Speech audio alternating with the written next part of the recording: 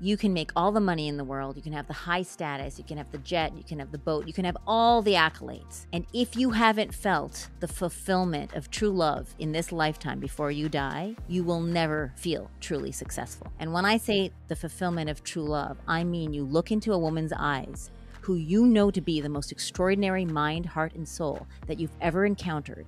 And when she looks at you, you know she loves you every single bone, every single crazy, every single part of your suboptimal personality. And she says, I love you.